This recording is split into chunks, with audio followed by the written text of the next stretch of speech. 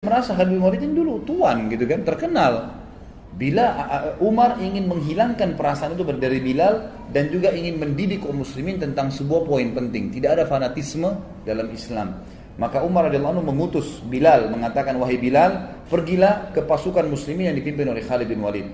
Lalu bacakan suratku ini di Khalid pada Khalid sementara Khalid kamu suruh tidur di tanah dan kamu letakkan telapak kakimu di pipinya. Ini perintah yang memang berat gitu ya bagi Bilal berat dan satu perilaku yang aneh gitu. Tapi dilakukanlah Bilal patuh. Bilal mengatakan baiklah ambil mukminin tiba di sana Bilal datang kepada Khalid bin Walid masuk dalam kemah bicara baik-baik wahai Khalid ambil mukminin memerintahkan saya seperti ini. Bagaimana pendapatmu? Saya harus memanggilmu dengan suara keras dari luar kemah. Saya menyuruh kamu meletakkan pipimu di tanah lalu saya letakkan telapak kakiku di atas pipimu baru saya bacakan surat ini Khalid bin Walid waktu itu memang lagi diuji juga imannya. Dia mengatakan, wahai Bilal, kita sudah masuk Islam. Lupakanlah masa jahiliyah. Lakukan apa yang Amir Mu'minin perintahkan. Maka Bilal pun keluar dari kemah lalu teriak dengan dari luar mengatakan, wahai Khalid ibn Walid, keluarlah. Keluar. Gitu kan? Begitu keluar, letakkanlah pipimu di tanah dan aku akan letakkan telapak kakiku di pipimu sebagai perintah dari Amir Mukminin. Semua pasukan lihat. Di pasukan ini banyak orang-orang Quraisy yang tahu kedudukannya Bilal dulu, yang tahu kedudukannya Khalid bin Walid dulu. Ini tuan, ini budak, bekas budak, gitu kan? Lalu Khalid bin Walid mengatakan, letakkanlah kaki Muhammad Bilal dan jangan ragu. Dan tidak pula ada yang marah dengan Bilal. Semua orang diam.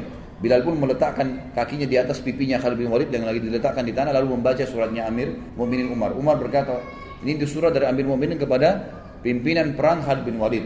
Telah sampai berita kepada saya bahwasanya kau berkhianat dalam masalah ghanimah harta rampasan perang. Kalau benar, maka beristighfarlah bertobat sama Allah dan saya lengserkan kamu dari jabatanmu. Kalau tidak benar, maka kau mengatakan tidak benar sementara Bilal masih menginjak pipimu, gitu kan? Dan saya akan tetap mencopot mencopot kau dari kepemimpinan, tetap kau berperang tapi bukan lagi pemimpin agar tidak ada fitnah yang kena di tengah-tengah muslimin. Maka Khalid bin Walid dalam kondisi terinjak pipinya mengatakan itu tidak benar. Sudah selesai Bilal menyampaikan berita tersebut tapi dia tetap dicopot dari jabatannya. Tapi di sini kita bisa lihat bagaimana ya Umar bin Khattab radhiyallahu anhu sangat tegas gitu kan. Tapi bukan berarti belum, belum bukan berarti belum benci Khalid bin Walid. Terbukti pada saat beliau meninggal dunia atau akan meninggal dunia, sempat Umar bin Khattab berkata, seandainya Abu Ubaidah masih hidup, karena Abu Ubaidah tadi sudah mati, ya dalam beberapa riwayat waktu dia pergi apa namanya? Ke tempat yang ada taun. Maka aku akan mengangkatnya menjadi penggantiku. Sebab kalau aku ditanya oleh Robku hari kiamat kenapa engkau memilih Abu Ubaidah? Aku akan mengatakan bahwasanya aku mendengar hamba dan kekasihmu Muhammad SAW bersabda likulli ummatin amin wa um wa aminu hadil umma Abu Ubaidah bin Jarrah. Setiap umat memiliki orang kepercayaan dan orang kepercayaan umat ini adalah Abu Ubaidah bin Jarrah kalau seandainya Khalid bin Walid masih hidup, ini kata Umar bin Khattab, ini saksi bahasan kita. Kemudian eh, eh, pasti aku akan mengangkatnya untuk menjadi penerusku. Dan pada saat aku ditanya oleh Allah hari kiamat, oleh Rabbku, kenapa engkau memilih orang ini? Aku akan mengatakan karena hamba dan kekasihmu Muhammad SAW telah bersabda, Khalid bin Walid saifun min suyufillahi sallahu alal musyrikin. Khalid bin Walid adalah salah satu pedang Allah yang Allah henuskan untuk orang-orang musyrik sebagaimana disebutkan di dalam ya, dinukil dari banyak riwayat-riwayat yang sahih. Bagi riwayat ini kata menurut penulisnya ini membantah tentang banyaknya isu yang salah tentang uh, pencopotan Khalid bin Walid dari masalah uh, kepemimpinan. Kemudian kita masuk ke masalah bagaimana Baitul Maqdis dibebaskan di zaman Umar bin Khattab.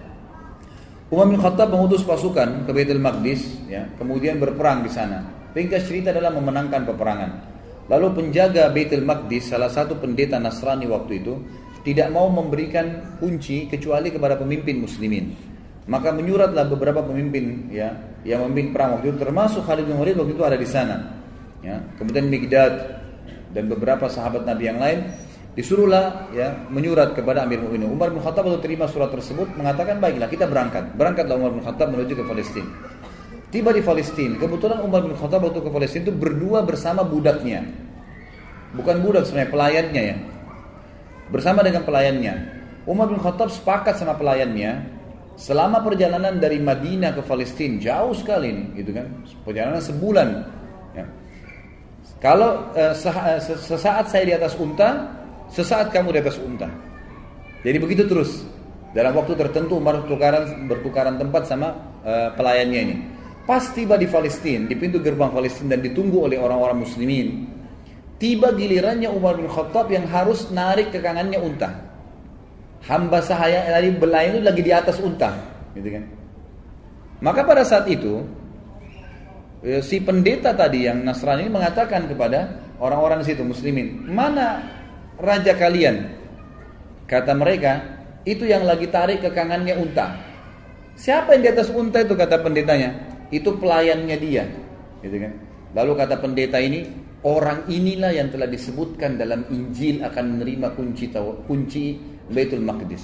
Ternyata disebutkan dalam Injil, satu waktu nanti akan datang dibebaskan oleh seseorang yang adil dan dia ada eh, dia akan bersama dengan pelayannya dan dia akan menarik ke kanan unta pelayannya. Sampai seperti itu. Dan pada saat itu Pendeta ini tambah kagum lagi karena empat orang pimpinan perang Khalid bin uh, uh, Umar bin Khattab waktu itu menyambut Umar dengan baju yang bagus-bagus. Kudanya juga dihiasi dengan bagus. Waktu mereka mendekat mau mau salaman sama Umar gitu kan, mau turun dari kudanya, Umar bilang jangan turun dulu. Dari mana kalian dapat pakaian-pakaian ini? Kata mereka, kami memakai ini Amir Mukminin agar musuh-musuh Allah takut. Sama Umar diambil batu dilemparin. Semuanya dilemparin sama Umar, gitu kan? Kata Umar, baru saja Allah bukakan kalian sedikit wilayah, kalian sudah memakai baju-baju yang mewah, buka, disuruh ganti bajunya yang dulu, gitu kan? Sampai akhirnya mereka membuka bajunya. Pendeta itu pun hanya kaget melihat perilaku Umar bin Khattab. Gak ada raja di dunia seperti ini gitu. Nah ini di antara hal yang terjadi di Baitul Maqdis dan beliau sempat masuk di Baitul Maqdis. Kemudian beliau menanyakan kepada seorang rahib di situ pada saat itu bernama Kaab al-Ahbar. Ya, dia kemudian menunjukkan ya, menurut uh, di riwayat ini dikatakan Umar bertanya padanya, di mana menurut riwayat dalam Injil pun ya, bahwasanya Nabi terakhir Muhammad SAW masuk di Baitul Maqdis dan mereka punya berita itu. Mereka mengatakan dari pintu ini, maka Umar pun masuk di situ. Kemudian Umar bin Khattab mengerjakan sholat di situ. Ini termasuk. Kemudian pelajaran yang lain juga disebutkan oleh beliau adalah sikap yang diambil menjadi hukum pada saat terjadi Amu Ramada. Ramada ini masa peceklik, kering sekali Madinah. Ya, sampai Umar tadi mulai zuhud, lebih zuhud lagi, tidak makan kecuali nasi sama eh, roti sama minyak dan itu membuat kulitnya sampai jadi hitam. Tapi ada sebuah pelajaran. Waktu itu Umar bin Khattab mengumpulkan masyarakat Madinah, kemudian mengajak mereka sholat istisqa. Pada saat diajak sholat ini riwayat Bukhari ya, pada saat diajak sholat istisqa, Umar bin Khattab memberikan pelajaran lagi kepada kita semua. Dia berkata dengan suara keras selesai sholat, mengatakan, Ya Allah, Dulu jika kami tertimpa kekeringan maka kami bertawassul kepadamu dengan doa nabimu. Lalu engkau menurunkan hujan kepada kami. Sekarang nabi kami sudah mati. Maka kami bertawassul kepadamu dengan doa pamannya itu, itu Abbas radhiyallahu anhu. Maka berilah kepada kami hujan. Kemudian Umar meminta Abbas untuk berdoa kepada Allah Subhanahu wa taala. Lalu Abbas pun berkata, "Ya Allah, sebuah bencana telah menimpa, ya, sebuah bencana tidak menimpa kecuali karena adanya dosa. Ia tidak terangkat kecuali dengan taubat. Orang-orang memintaku terhadap eh, menghadap kepadamu karena kedudukanku di sisi nabimu Muhammad SAW. Ini adalah tangan-tangan kami terangkat kepadamu dengan dosa-dosa. Sedangkan ubun-ubun kami kepadamu dengan taubat turunkanlah hujan buat kami maka tiba-tiba mendung dan turunlah hujan dengan lebat. Tapi ulama mengatakan dari riwayat ini diambil pelajaran besar bahwasanya ya Umar bin Khattab ingin menitik beratkan tidak boleh lagi bertawassul dengan Nabi Shallallahu Alaihi Wasallam sementara beliau sudah mati. Ya seperti banyak orang sekarang bertawassul gitu kan dengan Nabi SAW. Kalau beliau masih hidup lain, tapi kalau sudah mati orang soleh Nabi tidak boleh lagi dijadikan sebagai perantara. Allah alam ini disebutkan dalam uh, riwayat Bukhari dalam kitab Istisqa. Kemudian kita masuk ke masalah uh, bagaimana berpisahnya dengan Umar radhiyallahu anhu. Artinya kematian beliau, gitu kan. Ditulis, ditulis, ditulis oleh penulis ini dikatakan saatnya untuk berpisah. Ya. Umar bin Khattab sering kali berdoa, disebutkan dalam riwayat Bukhari. Beliau selalu mengatakan, Allahumma rzuqni syahadatan fi sabilik, waj'al mauti fi baladi rasulik. Sallallahu alaihi wasallam. Beliau mengatakan, Ya Allah karuniakanlah kepada aku syahadah, mati syahid di jalanmu dan jadikanlah kematianku di negeri Rasulmu. Ya, di Madinah maksudnya. Maka pada saat itu Hafsah berkata, Wahai ayahku, bagaimana bisa Allah menyatukan keduanya? Anda ingin mati syahid, tapi mati syahidnya di kota Nabi. Sementara waktu itu Madinah menjadi ibu kota Islam yang sangat kuat, mustahil bisa diserang udah. Pasukan Islam sudah menyebar ke mana-mana, Persia sudah runtuh, sebagian besar wilayah Romawi sudah runtuh. Jauh sekali orang-orang kalau mau menyerang Madinah. Bukan seperti di zaman Nabi SAW yang masih dekat orang Mekah, suku-suku Arab masih ada yang belum masuk Islam. Ini sudah habis semuanya gitu kan. Maka Umar mengatakan, ya Allah insya Allah akan datangkan kalau Allah mau. Ternyata betul, ya beranjak daripada kisah ini, uh, beranjak daripada doa ini, maka ada sebuah ya, kisah yang harus diketahui bahwasanya Mughirah ibn Syu'bah radhiyallahu anhu salah satu waktu itu gubernur yang ditunjuk oleh Umar bin Khattab di Irak dalam sanad yang sahih menulis surat kepada Umar bin Khattab mengatakan wahai Amir Mukminin, saya memiliki seorang budak. Budak ini bernama Abu Lu'lu, gitu. Orang Majusi. Orang ini mahir, bisa buat senjata, bisa buat pedang, bisa buat perisai, bisa buat macam-macam. Bahkan dia bisa membuat alat yang untuk mengalirkan air. Orangnya pintar sekali. Izinkanlah dia masuk ke Madinah wahai Amir Mukminin. Waktu itu Umar bin Khattab tidak pernah mengizinkan orang-orang yang belum masuk Islam itu masuk ke Madinah. Kalau sudah masuk Islam lain. Kalau belum masuk, Abu Lulu belum masuk Islam, gitu kan? Dimasukkan membantu untuk membantu muslimin agar bermanfaat. Nah, Umar bin Khattab menolak awalnya. Kedua, Mughirah bin Syubah terus mendesak sampai hanya Umar bin Khattab izinkan. Waktu itu Mughirah bin Syubah meminta bayaran dari budaknya ini setiap hari kalau nggak salah 100 dirham pembayaran dari hasil kerjanya gitu kan. Maka dia pun datang Abu Lulu kepada Umar mengatakan wahai Amir Mu'minin ini Mughirah menyiksa saya banyak yang diminta 100 dirham, padahal 100 dirham kecil untuk hasil dia. Kata Umar, 100 dirham kecil dari pendapatan kamu yang kamu lakukan. Begitu banyak pendapatan yang didapatkan bisa masuk sampai ribuan dirham dalam sehari. Maka itu kecil sekali. Dia pun akhirnya jengkel dengan Umar bin Khattab dan ini awal masalah. Maka dia pun akhirnya setiap kali ketemu Umar marah, kesannya kayak marah gitu. Kenapa Umar bin Khattab tidak membela dia? Lalu satu waktu Umar lagi lewat dan berkata, apa yang kamu lakukan? Dia mengatakan, saya sedang saya sedang mempersiapkan sesuatu, wahai Amir Mu'minin, untuk anda yang umat Islam tidak akan lupakan. Gitu kan? Orang-orang tidak paham waktu itu. Lalu Umar bin Khattab berkata kepada orang sekitarnya, kayaknya hamba saya ini sedang mengancam saya.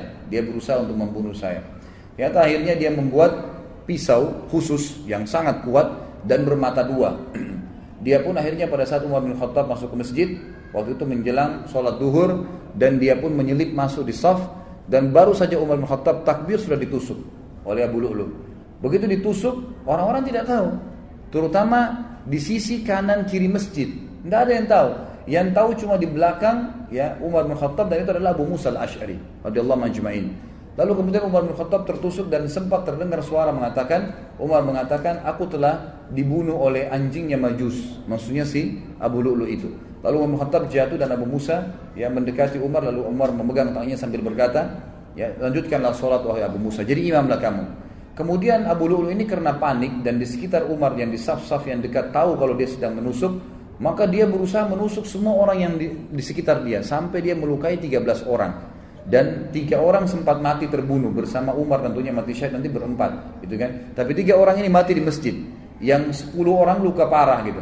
Nah pada saat ada lihat kejadian tersebut, sahabat sudah tahu kalau ini orang membunuh Amir Mukminin, menusuk, maka uh, dia melemparkan jubahnya ke arah wajahnya sehingga tidak melihat dan dikeroyokin.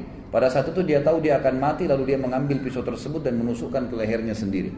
Meninggallah Abu Lu'lu ini dalam kisah sahih ini disebutkan. Dan ini yang luar biasanya, semoga Allah berikan hidayah ya. Kita tetap masih mendoakan. Di Iran sekarang ini dibangun sebuah kuburan, dinamakan kuburannya Abu Lu'lu. Ya, dan dianggap Abu Lulu seorang pahlawan orang-orang Syiah itu karena berhasil membunuh Umar bin Khattab radhiyallahu anhu. Ini luar biasa.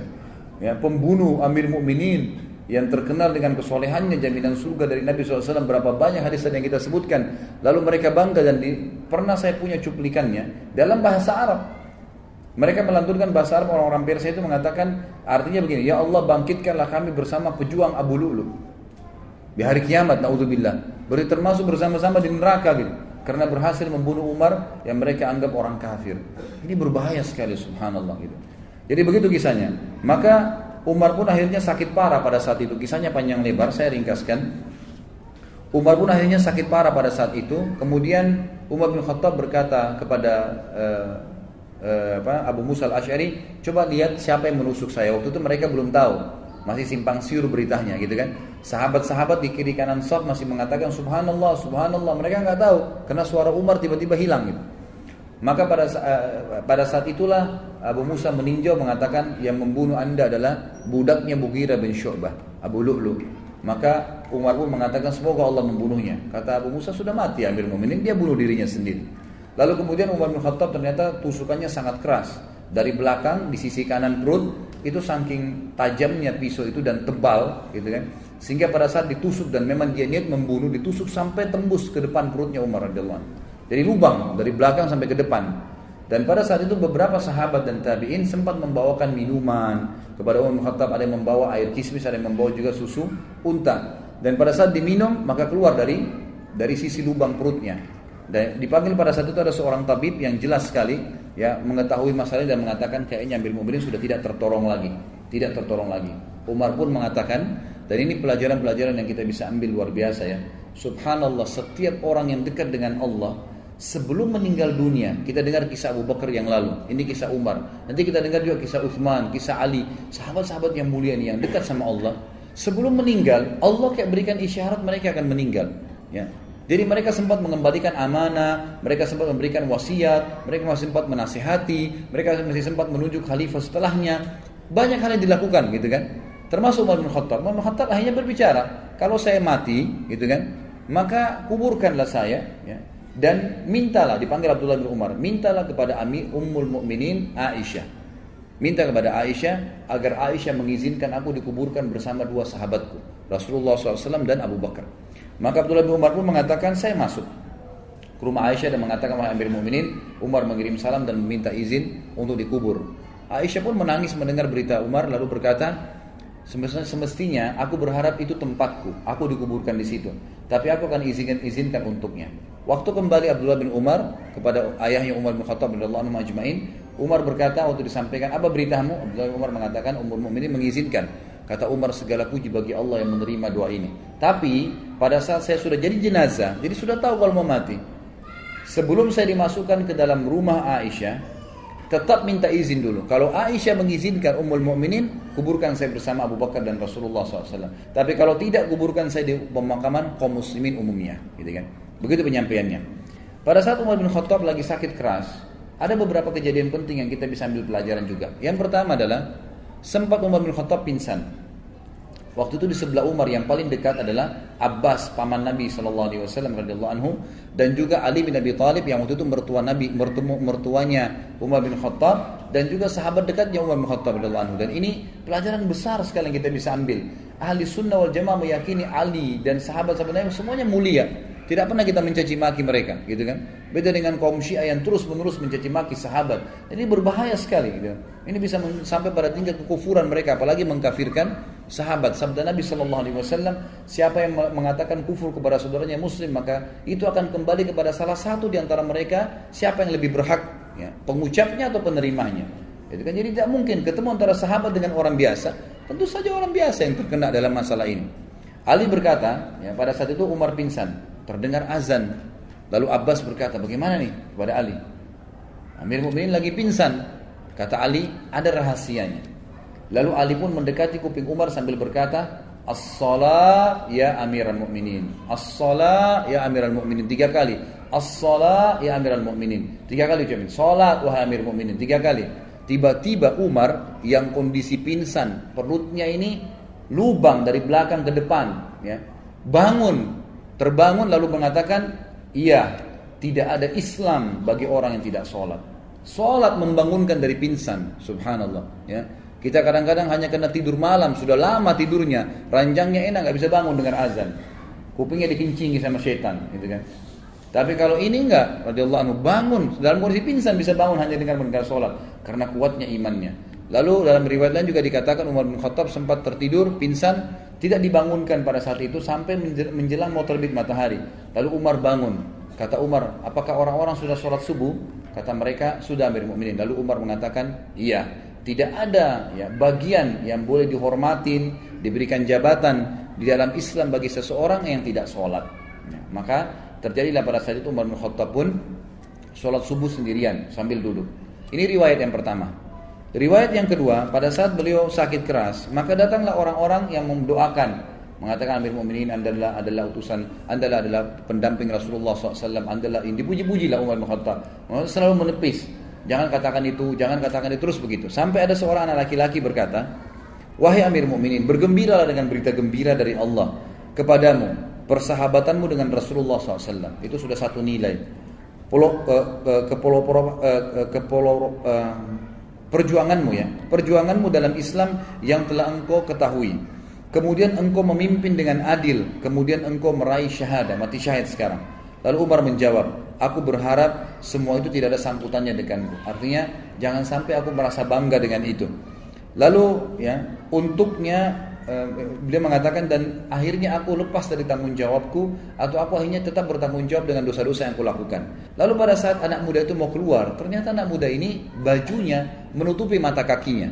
Dan ini riwayat jarang sekali disebutkan. Sebenarnya riwayat ini riwayat sahih ya, yang e, menyebutkan tentang dilarangnya laki-laki untuk isbal menutup mata kakinya dengan celananya, dengan pakaiannya. Ini masuk dalam bab isbal sebenarnya. Lalu Umar melihat ternyata sarungnya, pakaiannya laki-laki anak muda itu menyentuh tanah, menutup mata kakinya.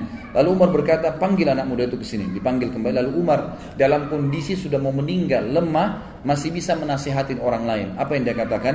Ya bna akhi, irfa thawbak, fa innahu abqa li thawbik wa atqa li rabbik wahai keponakanku ya biasanya orang dalam agama kita ini kalau ada seseorang anak muslim lebih muda ya kita bisa mengatakan wahai anak saudaraku.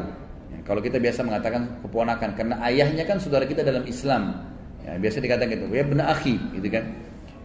Angkatlah pakaianmu karena itu akan lebih awet bagi pakaianmu tidak mudah kotor ya tidak tidak bisa menjatuhkan kamu karena kalau panjang bisa menjatuhkan bisa keinjak dan seterusnya dan itu lebih bertakwa kepada Robmu. Kemudian Ibnu Abbas berkata, aku berkata kepada Umar, bergembiralah, engkau akan meraih surga. Sungguh uh, engkau telah menyertai Rasulullah dalam waktu yang lama. Engkau memegang urusan orang-orang beriman.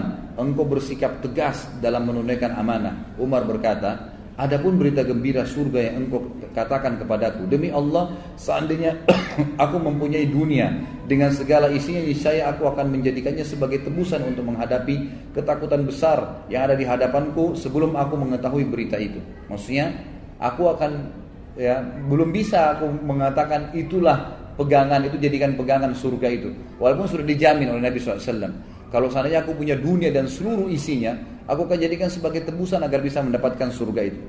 Adapun ucapanmu bahwasanya aku telah memegang urusan um-, um-, umat Islam, demi Allah aku berharap bahwa hal itu tidak ada sangkutannya denganku. Untung ruginya tidak ada hubungannya denganku. Adapun yang engkau katakan bahwa aku telah menyertai Nabi Shallallahu Alaihi Wasallam, maka hal tersebut benar. Hal tersebut benar. Ini diriwayatkan oleh Imam Ahmad dalam musnadnya Kemudian Imam Madzhabi juga mengatakan Ibnu Umar berkata radhiyallahu anhum ajmain, kepala Umar berada di pangkuanku pada saat beliau sedang tertusuk ya. Lalu ia berkata, "Letakkan pipiku di tanah," kata Umar. Lalu aku meletakkannya kata Abdullah bin Umar radhiyallahu anhu ajmain. Dia berkata, "Celaka bagiku dan celaka bagi ibuku jika Robku tidak merahmatiku." Artinya betul-betul kecelakaan ya luar biasa kalau sampai aku tidak ya di apa diampuni oleh Allah Subhanahu wa taala. Lalu beliau sempat sebelum meninggal juga memberikan wasiat kepada beliau mengatakan aku berwasiat kepada khalifah yang datang setelahku berbuat baik kepada muhajirin angkatan pertama. Karena mereka lah orang-orang yang telah masuk Islam di awal ya, dan memberikan hak-hak mereka menghormati mereka. Yang kedua aku berwasiat kepada orang-orang ansar yang telah memperjuangkan dan menjual seluruh harta dan jiwa mereka untuk agama Lalu berbuat baiklah kepada rakyat Jakrat, rakyat-rakyat di kota-kota dan di desa-desa karena mereka adalah pejuang-pejuang Islam. Berbuat baiklah kepada orang-orang Badui karena mereka adalah orang-orang asli muasal orang Arab dan penopang Islam. Serta aku juga mewasiatkan berbuat baik kepada zimma, ahli zimma, orang-orang kafir yang di bawah naungan pemerintahan Islam karena ya hak mereka harus dipenuhi sebagaimana Nabi Shallallahu Alaihi Wasallam perintahkan. Ada beberapa pujian sahabat-sahabat ya yang kita akan sebutkan poin-poinnya sebelum disebutkan kematian beliau radhiyallahu anhu.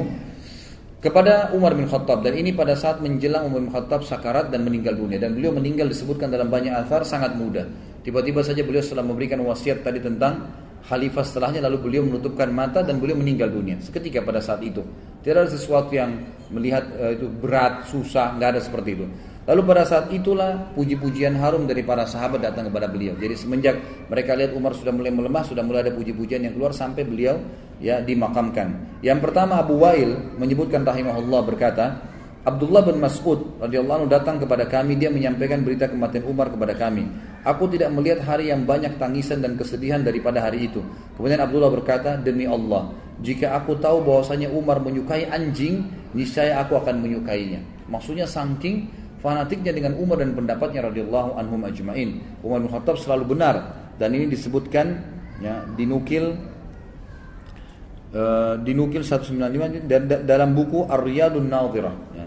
Kemudian Huzaifah juga berkata, ini kisah atau ungkapan yang kedua, bahwa dia berkata pada hari kematian Umar, pada hari ini kaum muslimin meninggalkan sebuah sisi pagar Islam, artinya kehilangan pagar benteng mereka.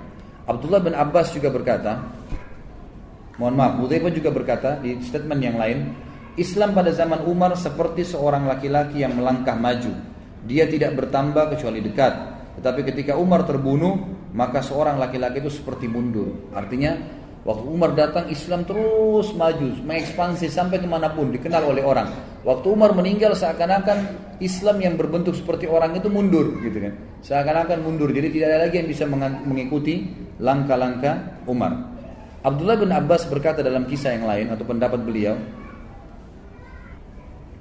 apa ditanya kepada beliau, apa pendapat anda tentang Umar? Abdullah bin Abbas radhiyallahu berkata, semoga Allah merahmati Abu Habs, maksudnya Umar. Habs ini anak pertamanya Umar, laki-laki. Demi Allah dia adalah pembela Islam, pengayom anak-anak yatim, tempat tinggal imam, iman, tempat tinggal iman, sumber kebaikan, penyantun orang-orang lemah, benteng bagi para khalifah, kokoh dalam kebenaran, suka membantu orang lain, menegakkan hak Allah dengan sabar dan berharap pada hala kepada Allah sehingga agama ini tegak. Dia telah memperlebar wilayah kaum muslimin, mengingat Allah SWT di atas bukit dan daratan, memuliakan Allah dalam keadaan senang dan susah, bersyukur kepadanya di setiap waktu, maka Allah akan menimpakan penyesalan kepada siapa saja yang membencinya sampai hari kiamat.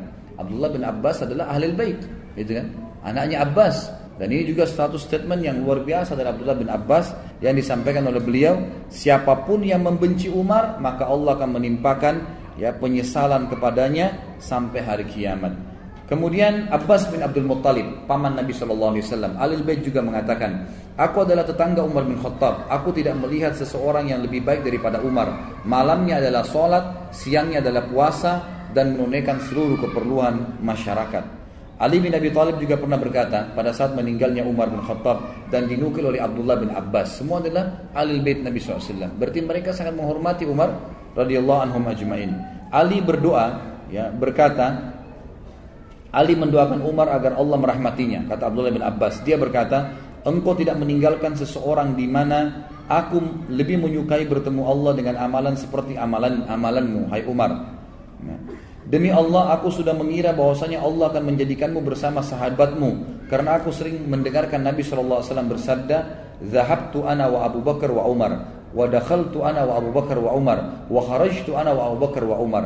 Aku sering mendengar kata Ali radhiyallahu anhu ajma'in Nabi SAW bersabda aku pergi bersama Abu Bakar dan Umar. Aku masuk bersama Abu Bakar dan Umar dan aku keluar bersama Abu Bakar dan Umar jadi ini jelas statement Ali radhiyallahu anhu mengatakan wajar kalau kamu dikubur bersama Nabi SAW dan Abu Bakar. Abdullah bin Abbas juga berkata, perbanyaklah mengingat Umar. Karena jika kalian mengingatnya, niscaya kalian akan mengingat keadilan. Jika kalian mengingat keadilan, niscaya kalian akan mengingat Allah tabaraka wa taala. Jadi ini statement yang sangat luar biasa. Dan seperti kita tahu ikhwan dan akhwat sekalian, sampai sekarang subhanallah, kita pada saat dari tadi kita mengisahkan Umar, saya yakin berapa persen pun itu jumlahnya, ya kalau memang Allah mudahkan sampai full, alhamdulillah, bisa semaksimal mungkin 90-100 persen kita bisa mengambil pelajaran, sangat baik. Berapa persen pun tadi waktu kita dengarkan kisahnya, yang terlintas adalah seorang sosok yang sangat kuat, tegar, dari orang yang tidak baik menjadi orang yang sangat baik, dari orang yang akhirnya ya orang yang jadi pemimpin dan menjadi orang yang sangat adil dalam pemimpinannya, orang yang sangat berani, orang yang sangat sayang dengan masyarakatnya, orang yang sangat zuhud, ya, orang yang sangat warak, banyak sekali. Kelebihan beliau radhiyallahu anhu. Dan dengan membaca kisah beliau, kita akan bertambah iman. Baru membaca kisahnya, bagaimana dengan dia sendiri yang sudah hidup pada masa itu radhiyallahu anhu. Dan saya tutup ikhwas sekalian, ya, ini tentu tambahan kisah saja. Ini setelah Umar bin Khattab meninggal lalu dikuburkan, ya, sebelum beliau meninggal Beliau sempat dikatakan oleh beberapa sahabat, tunjuklah wahai Amir Mu'minin siapa yang akan menggantikan Anda. Kata Umar radhiyallahu anhu, saya tidak berani menunjuk siapa pun kecuali saya harus mengumpulkan enam orang yang tersisa dari ahli ya dari orang yang yang dijamin masuk surga. Maka kumpulkanlah pada saat itu ada Uthman, Ali, Talha, Zubair, Abdurrahman ibn Auf dan Sa'ad ya. Dikumpulkan enam orang ini. Lalu kata ya Umar radhiyallahu anhu kumpullah mereka ini. Lalu Umar memanggil mereka ke dalam rumahnya Umar lalu Umar berkata, "Ini ada kamar, kamar saya. Ini kamar sering saya gunakan untuk kebutuhan muslimin. Berkumpullah kalian di dalam kamar ini dan musyawarahlah agar ada orang di antara kalian yang bisa menggantikan saya setelah saya meninggal. Dan ingat, wahai Abdurrahman, kau jadi pimpinannya. Jangan keluar dari ruangan ini kecuali sudah ada satu khalifah. Kalau enggak, kalian berenam saya penggal lehernya. Umar bin Khattab nunggu depan kamar itu dalam kondisi beliau luka parah nih, gitu kan? Lalu masuklah enam orang itu bermusyawarah di dalam. Di dalam ini subhanallah, keenam sahabat ini saling memuji. Yang satu memuji fadilah yang satunya. Rasulullah SAW bersabda tentang kamu begini, tentang kamu begini. Uthman memuji Ali, Ali memuji Talha, Talha memuji Zubair, terus begitu. Sampai hadis-hadis banyak disebutkan tentang fadilah masing-masing. Terakhir terkerucut dari enam orang, dua orang, Uthman dan Ali. Dan akhirnya Uthman bin Affan unggul dengan dua buah hadis tentang hadis Allah malu eh, malaikat malu dengan ya, Uthman dan juga tentang uh, jaminan Nabi SAW surga kepada Uthman setelah membiayai perang ya Ushrah. Baik, akhirnya mereka mengatakan Uthman kok tidak bisa mengelak. Uthman pun akhirnya mengatakan baiklah. Keluar dari kamar Umar tanya, bagaimana keputusan kalian? Kata mereka kami sudah menunjuk Uthman bin Affan karena kelebihan hadis Nabi SAW tentang dia. Kata Umar, Alhamdulillah. Setelah itu Umar pun meninggal dunia. Jadi ini fadilah yang Umar radhiyallahu anhu lakukan. Ada sebuah kisah yang saya tutup dengan kisah ini sebenarnya tidak berhubungan dengan kematian Umar, tapi saya sempat mendengarkan kisah ini dari salah satu masyaikh ya, yang beliau sampaikan dalam kasetnya. Saya tambahkan saja. Umar bin Khattab radhiyallahu anhu beliau sangat senang kalau sudah selesai urusan pemerintahan diurus, beliau sering duduk di masjid dan menunggu kalau ada orang yang mengeluh lagi eh, atau beliau mendengarkan kisah-kisah unik. Satu waktu ada orang yang datang dan ini kisah membuat Umar bin Khattab menangis dan tersentuh secara imania.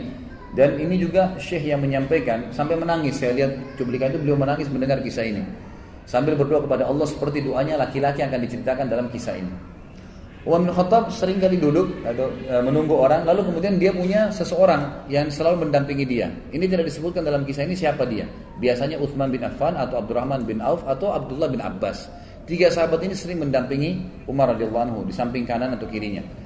Lalu masuklah dua orang dalam masjid waktu itu kembar persis sama, bajunya sama, ya. Semua penampilannya sama, rambutnya, alisnya, kulitnya, tinggi badannya, paras wajah, poster tubuh sama semua, nggak ada bedanya. Seperti orang kembar gitu. Tapi kembar, kembarnya ini luar biasa uniknya gitu, semua sama. Lalu Umar bertanya kepada orang di sebelahnya, siapa orang ini, dua orang ini? Yang di sebelahnya bilang kepada Umar, itu Amir Muminin, ayah sama anaknya. Umar kaget. Umar mengatakan ayah sama anaknya seperti seakan-akan saudara kembar. Jadi hampir sama rambutnya sama-sama. Dia masih hitam, masih muda rambutnya si si ayah ini gitu. Kondisi fisiknya masih sama dengan anaknya. Lalu Umar yang angkat suara mengatakan, "Ajaban ma itu yaum." Sungguh mengagumkan apa yang saya lihat hari ini. Lalu mengarahkan pandangan beliau ke ayahnya si anak tadi yang anda jalan di depan. Lalu ayahnya mengatakan, wahai Amir Mu'minin, kalau anda mendengar kisah anak saya ini, dia lahir dari rahim ibunya, sementara ibunya di kuburan, anda lebih kaget. Kata Umar, anak ini lahir di kuburan dari ibunya yang sudah mati. Kata ayahnya, iya Amir Mu'minin. Begini ceritanya. Umar bilang, ceritakan saya rahimakallah. Semoga Allah merahmatimu. Dia bilang, begini cerita Amir Mu'minin. Saya waktu ibunya anak ini masih hidup di Madinah, masyarakat Madinah, orang-orang dari Ansar ini. Dia bilang saya waktu ibunya masih hidup anak ini sempat waktu hamil pertama anaknya cuma satu. Lagi hamil tiga bulan ya.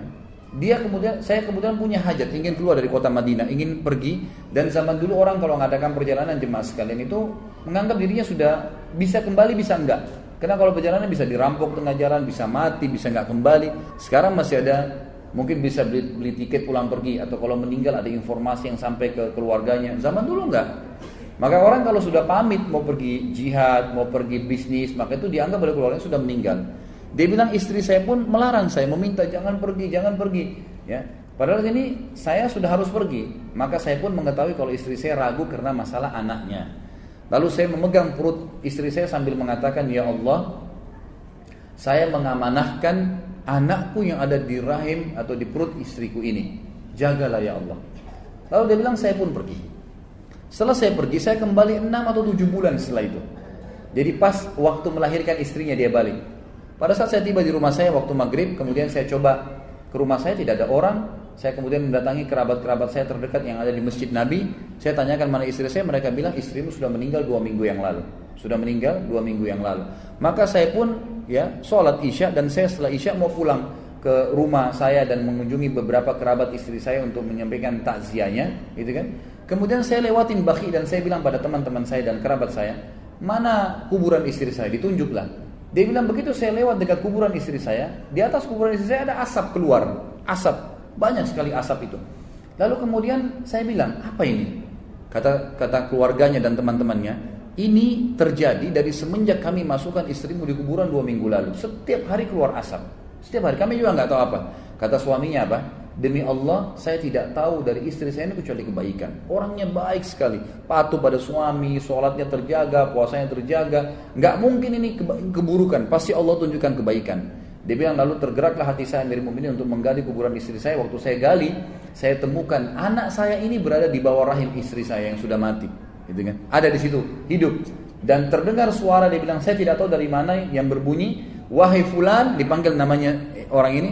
Wahai fulan, ambillah anakmu yang kau telah jadikan amanah di tangan Allah Subhanahu wa taala. Sampai Amir Mukminin menangis, Umar dan orang ini menangis sambil berkata, "Wahai Amir Mukminin, demi Allah, saya sangat yakin kalau seandainya waktu itu saya juga memegang pundak istri saya dan saya katakan, ya Allah, saya amanahkan istri saya. Saya pegang tembok rumah saya dan saya katakan saya amanahkan tembok rumah ini Amir Mukminin. Uh, ya Allah, maka saya yakin istri saya masih Allah panjangkan umurnya. Tapi ya Amir Mukminin, saya cuma mendoakan anak saya dan inilah anak saya yang Anda anggap unik tadi itu." Maka ini pelajaran juga besar. Bagaimana kita bisa ambil bahwasanya orang melibatkan Allah Azza Wajalla dalam segala kehidupannya, gitu kan?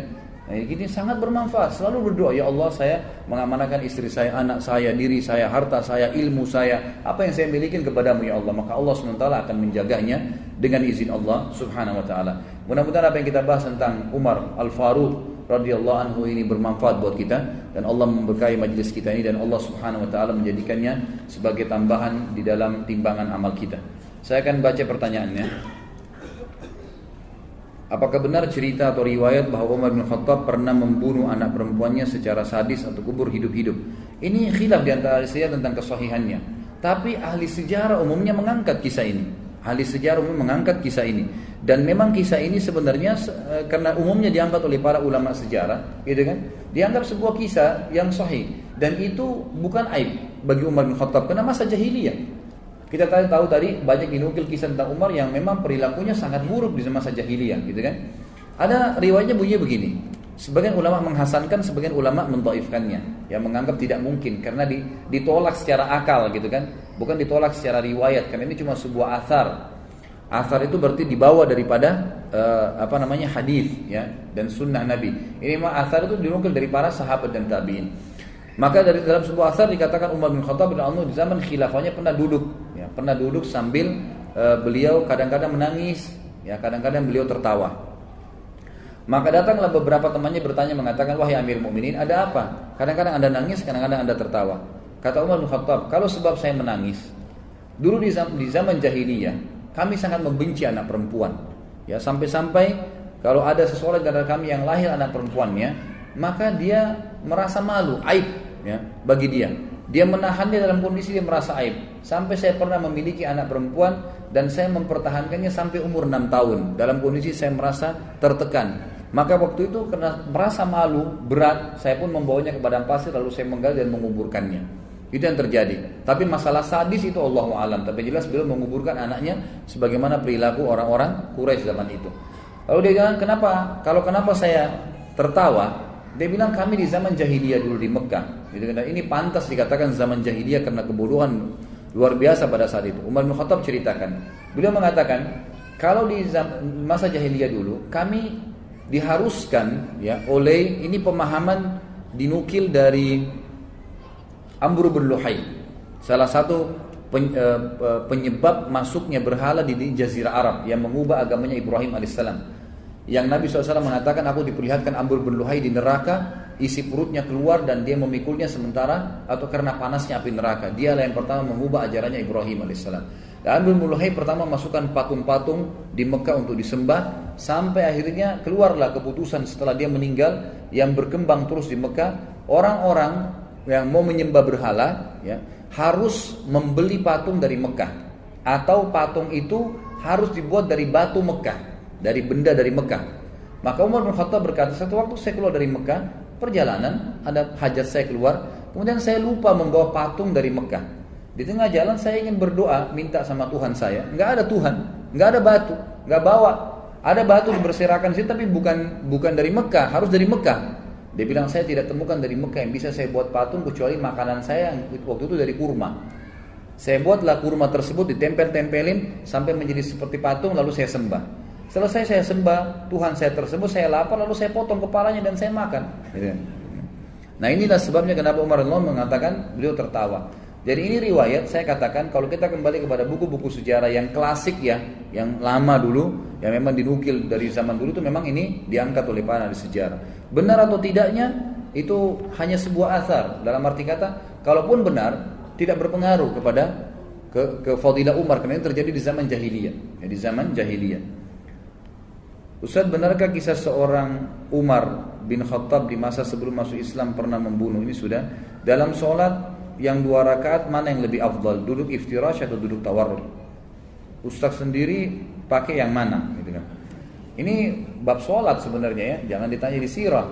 Baik duduk iftirash adalah duduk yang farash. Itu artinya menduduk menduduki eh, apa telapak kaki kiri dengan bokong kita. Namanya iftirash. Farash Artinya orang Arab mengatakan firash itu tempat tidur untuk terlentang. Karena telapak kaki itu dipakai duduk gitu kan, dipakai seperti orang yang sedang istirahat. Kalau tawarruk diambil dari kata-kata warak yang berarti bokong. Artinya pantat kita didudukan di tanah. Ya, jadi kalau antum satu waktu terlintas duduk iftirash, ingat aja farash itu adalah didudukin berarti didudukin telapak kaki kita. Kalau warak berarti dari diambil dari kata-kata uh, tawarruk dari kata-kata warak yang berarti bokong yang didudukan di tanah. Kalau masalah ini khilaf di antara Imam Syafi'i dan jumhur ulama. Imam Syafi'i rahimahullah mengatakan beranjak daripada hadis yang dihasankan dan disohikan oleh sebagian ulama. Ada yang menghasankan, ada yang mensohikan. Yang berbunyi Nabi Shallallahu Alaihi Wasallam setiap kali mau salam duduknya tawarruk. Setiap kali mau salam duduknya tawarruk. Jadi duduknya bokong yang dibawa. Setiap kali mau salam ya. Artinya dari riwayat ini mau satu rakaat kah, mau dua rakaat kah, mau tiga rakaat, mau empat, misalnya witir satu rakaat Sholat subuh dua rakaat, sholat maghrib tiga rakaat misalnya, atau sholat duhur empat rakaat.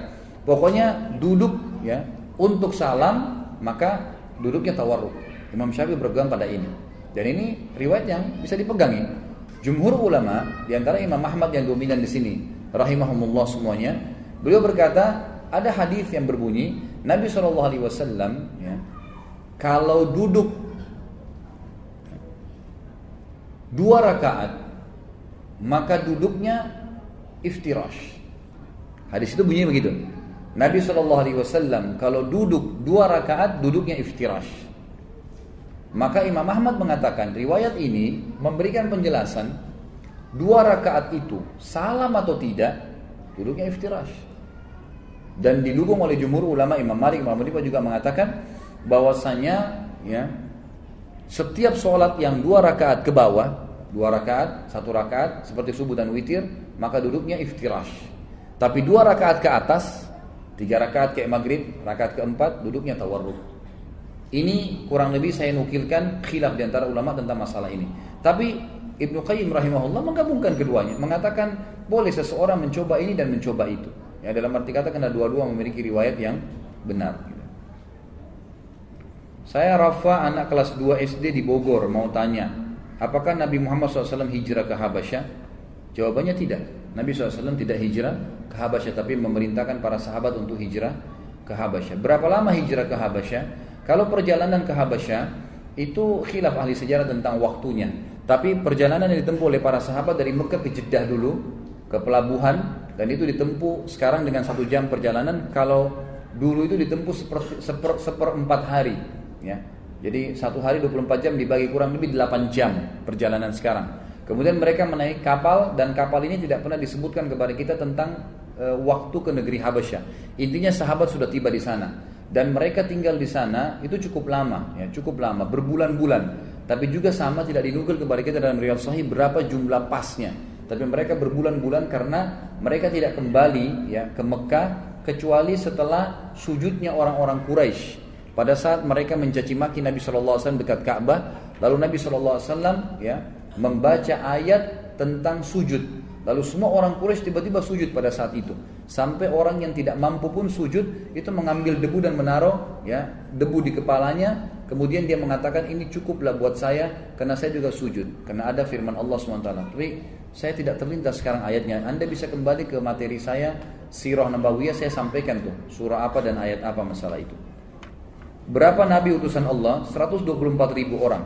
Dalam hadis sahih disebutkan oleh Al-Hakim ya dalam Mustadrak bahwasanya Nabi SAW bersabda Nabi itu diutus oleh Allah 124 ribu orang di antaranya 313 Rasul.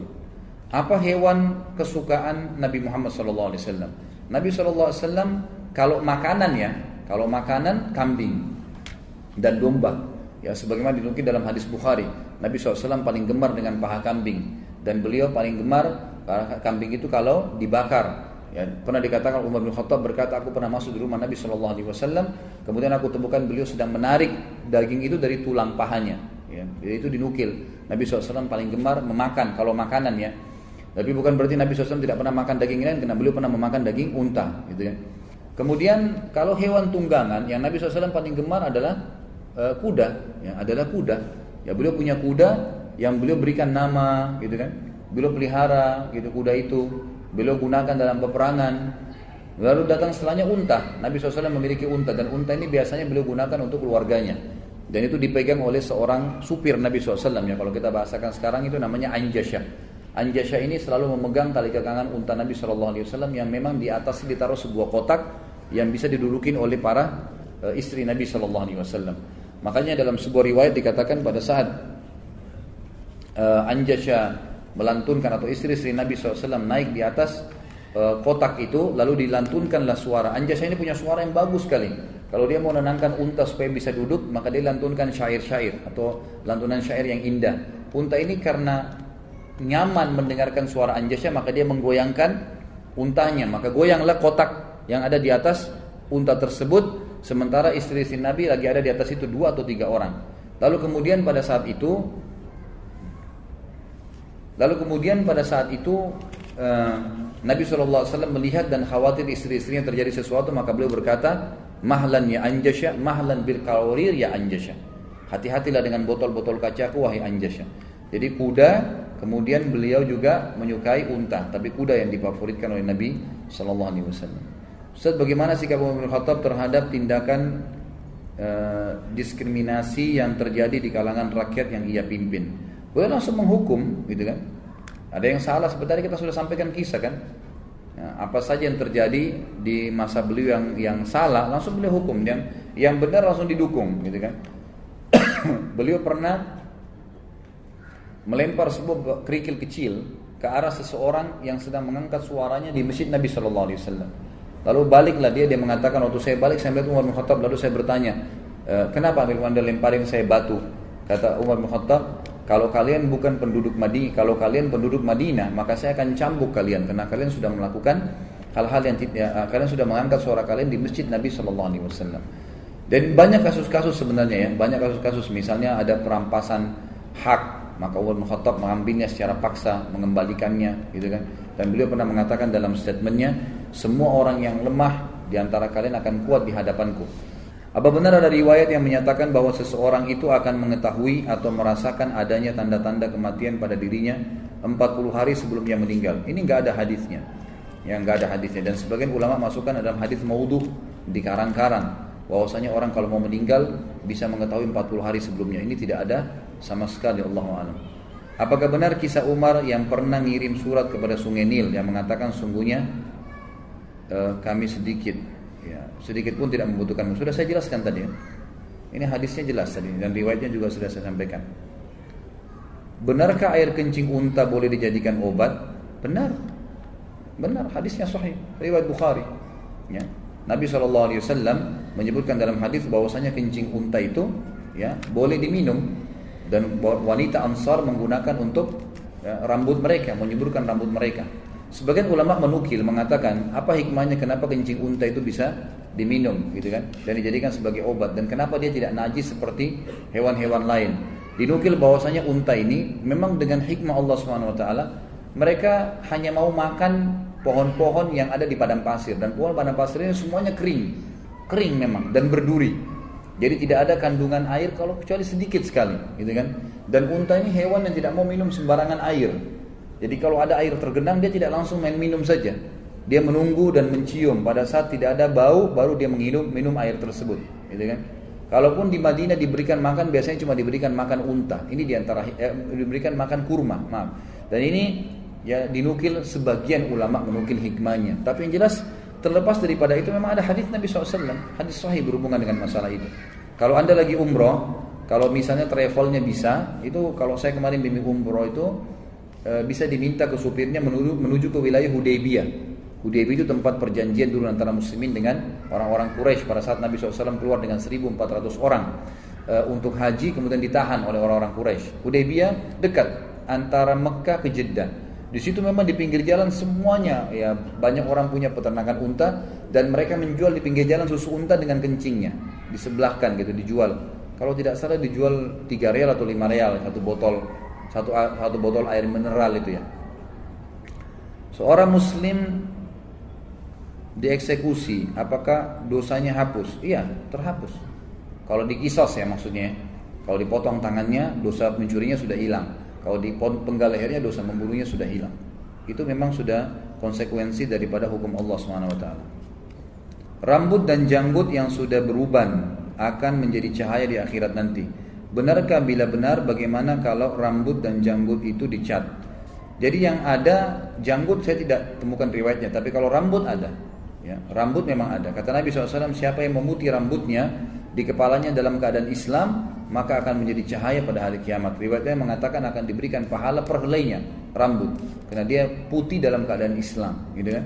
Jadi memang kalau memutih, fadilahnya memang begitu dibiarin. Kalau ada yang mengecat berarti sudah tidak putih lagi rambutnya, gitu kan. Ya mungkin fadilah itu bisa hilang dari dia. Ustaz bagaimana dengan film Umar radhiyallahu yang menayangkan wajah Umar bin Khattab? Ini enggak benar ya. Film tersebut menceritakan tentang sirah Nabawiyah Ustaz. Bagaimana hukum ditampilkan wajah sahabat tersebut. Kisahnya itu ulama mengatakan kalau sahabat, para nabi dianjurkan menukil kisah dalam bentuk cerita, gitu kan? Dalam bentuk kisah, jangan gambar. Karena gambar ini mengharuskan orang itu yang tampil memang seperti dia. Dan itu sulit. Itu yang pertama. Yang kedua, sering kalian digunakan adalah artis-artis dan artis-artis ini setelah main film agama, nanti sebentar dia main lagi film yang kotor, yang tidak benar. Sementara orang sudah menukil ya wajahnya Umar seperti ini, wajahnya Abu Bakar seperti ini. Ini tidak benar semuanya. Allah alam yang saya tahu ulama mengatakan tidak dibolehkan, gitu kan? Tidak boleh sama sekali menampilkan. Karena tanpa ditampilkan dalam film pun sudah cukup kok. Dengan penyampaian seperti kita tadi sudah cukup sebenarnya. Orang sudah cukup mengambil pelajaran. Terkait dengan masalah mimpi dan firasat orang-orang soleh, ada diceritakan cerita-cerita di masyarakat Indonesia. Cerita mimpi orang soleh mimpi bertemu Rasulullah dan Rasulullah SAW berlari lalu dikejarnya dan ditariklah surban Rasulullah kemudian terbangun dari tidurnya. Terdapatlah di tangannya surban Rasulullah. Kemudian dijadikan sorban itu dikeramatkan. Ya. dan e, mimpi yang mulia dianggap mimpi tersebut mimpi dunia. Apakah mimpi-mimpi seperti ini termasuk firasat dan orang-orang soleh? Jawabannya tidak. Kalau sampai mimpi menarik surbannya Nabi, ini aneh ini. Gitu kan? Ini luar biasa menarik surban Nabi itu berarti aib sebenarnya dalam agama gitu kan? Gak mungkin terjadi. Tapi mimpi tentang Nabi SAW benar bisa terjadi, bisa terjadi. Tapi ulama mengatakan untuk mimpi Nabi Shallallahu Alaihi Wasallam biasanya memang dilihat orang tersebut. Kalau orang itu sangat dekat dan menjalankan sunnah-sunnah Nabi SAW maka bukan mustahil dia mimpi tentang Nabi SAW itu pun kalau dia lihat Nabi SAW harus dipertemukan dengan syama'il Muhammadiyah. Dipertemukan dengan ciri fisiknya beliau Sallallahu Alaihi Wasallam. Kalau dalam bab syama'il Muhammadiyah ada bahasan khusus. Di awalnya itu adalah khalqiyah dan khulukiyah ciptaan fisik Nabi SAW dan akhlak Nabi SAW kalau betul rambutnya seperti Nabi SAW hitam, kelam, berombak, kadang-kadang sampai ujung kuping, sampai di pundak beliau, ya, apa namanya kulit beliau putih, saking putihnya sampai pipi beliau kemerah-merahan, alisnya tebal hitam seperti busur panah, bola matanya besar, ditemui dengan bulu bulu mata yang lebat, bola matanya itu yang putih-putih bersih, hitamnya hitam pekat. Sampai para sahabat mengatakan kalau kami ingin bercermin di mata Nabi SAW kami bisa bercermin. Hidungnya lancip Sallallahu Alaihi Wasallam, bibir, pipi itu sesuai dengan wajah beliau yang tidak oval dan tidak panjang. Pundak beliau uh, lebar, ya, tubuh beliau yang kekar, dadanya yang bidang alaihissalam tingginya gitu kan badannya dipenuhi dengan uh, bulu termasuk jenggotnya lebat sampai kasif sampai ke dada beliau alaihissalam itu cirinya. Kalau orang melihat seperti itu maka insya Allah membantu Nabi SAW tapi juga dipertemukan dengan tadi kalau sampai menarik surban Nabi dan dia temukan surban di tangannya ini dari para sahabat pun tidak pernah ada yang terjadi seperti itu yang lebih dekat dengan Nabi SAW Bagaimana bisa dia begini? Dan akhirnya ini bisa saja ya dijadikan sebagai senjata untuk uh, menipu orang lain seperti tadi kasusnya dikeramatkan misalnya ya. Akhirnya dianggap sakral dan kain itu itu permainan syaitan semua. Allah alam yang semestinya memang harus dijauhi. Semestinya harus dijauhi. Sekali lagi kita berdoa kepada Allah SWT semoga Allah yang Maha melihat, Maha mengetahui dan juga Maha pengasih kepada seluruh makhluknya menjadikan majelis kita ini majelis ilmu yang diberkahi dan juga menjadikan ini sebagai tambahan ya amal soleh di timbangan amal kita hari kiamat. Dan semoga Allah SWT menyatukan kepada bersama kita Umar Al Faruq bersama kita bersama beliau di surga dengan izinnya insya Allah dan kita juga bisa mengambil pelajaran dari beliau ya mudah-mudahan uh, kita menjalankan kehidupan ini dari apa-apa atau apa saja yang beliau telah terapkan sebelum kita baik sebagai seorang ayah, sebagai seorang teman, ya sebagai seorang pemimpin ataupun sebagai orang ahli ibadah ya dan ulama yang mestinya menjadi suri tauladan. Mungkin begitu ikhwah akhwat sekalian kalau ada benar dari Allah, kalau ada salah dari saya mohon dimaafkan. Subhanakallahumma wa bihamdika asyhadu an la ilaha illa. Wassalamualaikum warahmatullahi wabarakatuh.